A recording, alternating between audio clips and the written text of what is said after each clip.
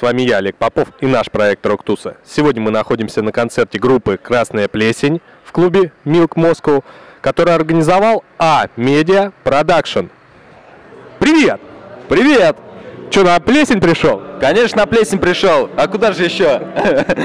Ну, тут э, еще две группы Да, такие. я знаю, что здесь еще две группы выступают.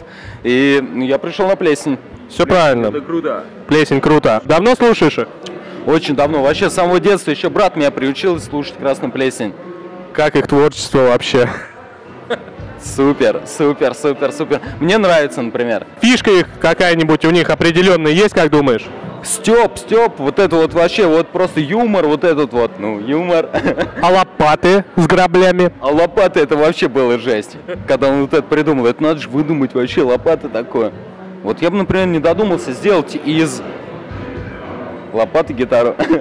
Так он и из граблей же еще сделал что Да, он еще и грабли замутил, ты прикинь. И еще и бас-гитара у него есть. Прикольно. А еще и весло. Весло есть? Да. А я не видел. Не, он там говорил, весло есть, я сам не видел, но... А, нет, с веслом он выступал э, на рок-волне, по-моему, с веслом. Так что есть. Вообще охеренно все. Ну все, спасибо тебе большое. Не за что, давай, удачи вам. Привет! На какую группу пришла? А на красную плесень. Ну и как эта плесень вообще? Плесневая? Красная, как маечка. Смотри, видишь? Сделаны в СССР. Они из наших времен. А, ну отлично. А откуда узнала, когда услышала, в каком году? Интернет сближает людей. А, вот так вот. А в том году, в котором еще интернета не было, мы просто были такие кассеты, и мы их слушали на кухне, когда пили пиво. Все правильно, у меня тоже 2002 года была кассета. Ебашение по струнам называется четвертая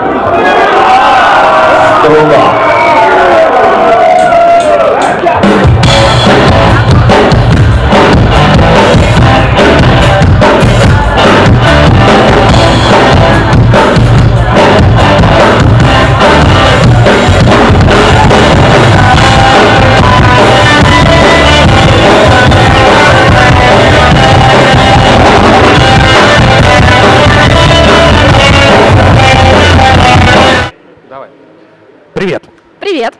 Как тебя зовут? Барби.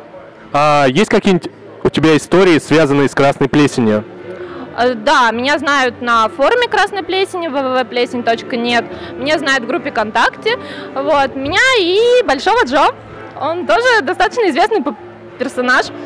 Он даже один раз был участником концерта. Вот, э, им били фанатов, которые лезли на сцену э, к Яцине.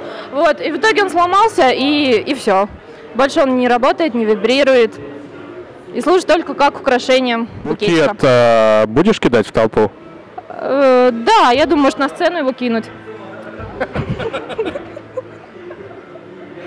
А Сегодня должен быть конкурс костюмов, потому что концерт костюмированный. Если меня позовут, если я выиграю в конкурсе, то я обязательно кину букет в толпу, и Большой Джо достанется какой-нибудь счастливицу или даже счастливчику.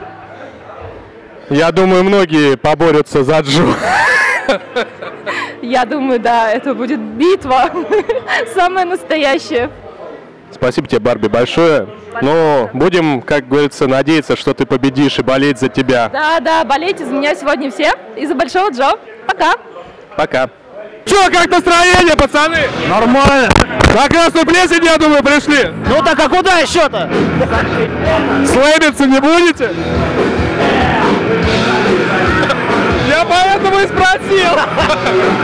Вот и- Вы скажете, в какой вы будете где, чтобы я там под слэм просто не попал. А то мне просто еще репортажи висит, ну чтобы не закололи вот этой вот темой. Меня там на входе предупреждали по поводу этого. А ты что сказал? Меня не предупреждали, что будет слэм.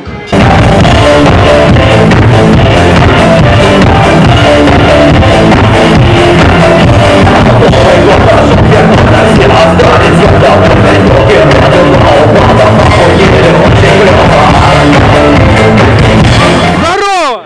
Эй! Ой, эй, эй! Чего ждешь от концерта Красной Плесени? Счастье. Понятно. Давно знаешь их? А, где 96-го? Ты старый. Ну я тоже не молодой, но я с 2002 например. О, пацан! Да, единственный вопрос такой, сколько альбомов вообще слышал их? Я слышал, у них 55 альбомов. А, слышал где-то порядка 15 под гитару. Все. Кавера, то бишь, да? Кавера, то бишь. Да. Друзья, группе «Красная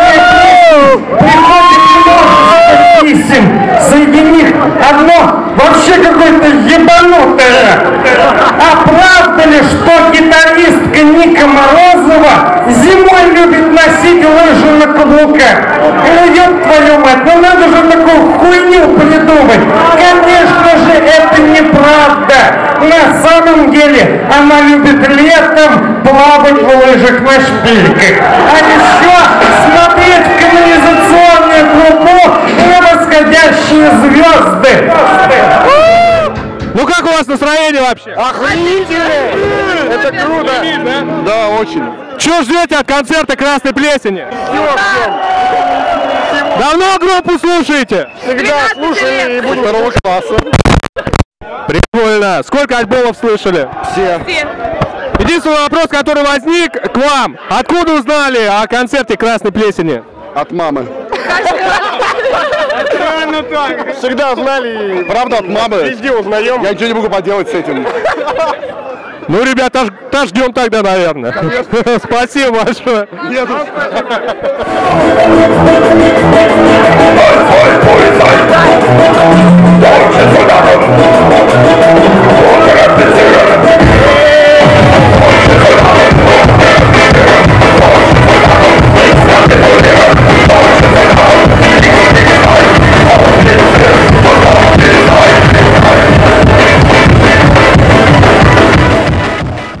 Здрасте, Павел. Добрый вечер.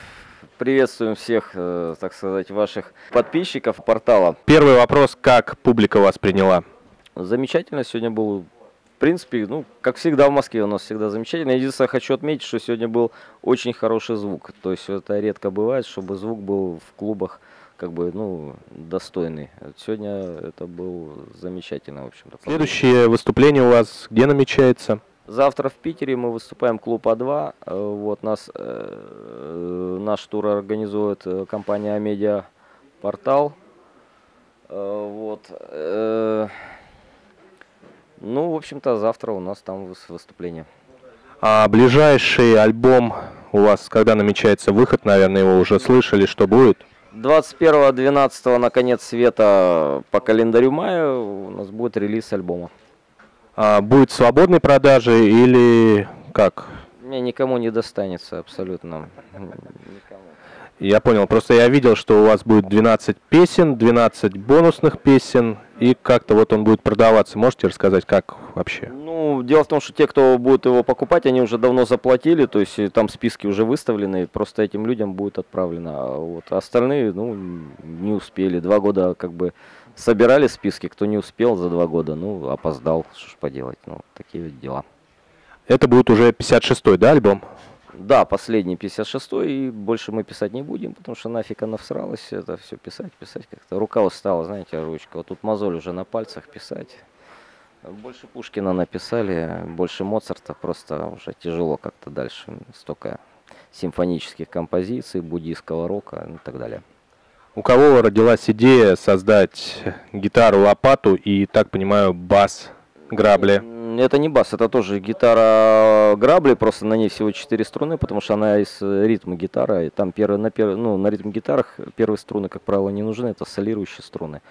Э, Вот, ну, это я изобрел, в принципе, там в интернете уже давно об этом как бы есть. Э, На нашем официальном портале мы выложили эту информацию. Э, Ну, как э, сверху пришла идея, собственно говоря, тут невозможно сказать, как это появляется. Та или иная задумка. Я видел патент, он как бы у вас на Украине запатентован. А почему не в России?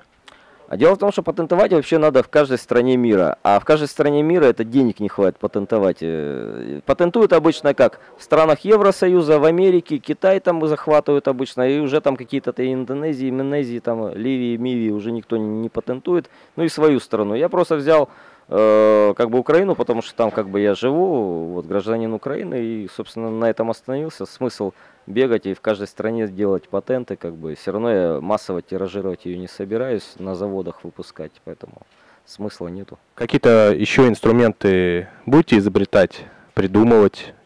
Была у нас, точнее, есть э, гитара, то есть это скрипка, лопата, виолончель лопата. Мы на фестивале в Малоярославце, по-моему, в позапрошлом году или в прошлом, уже не помню, есть видео тоже, э, презентовали виолончель лопату. Я там сыграл партию Моцарта немножко.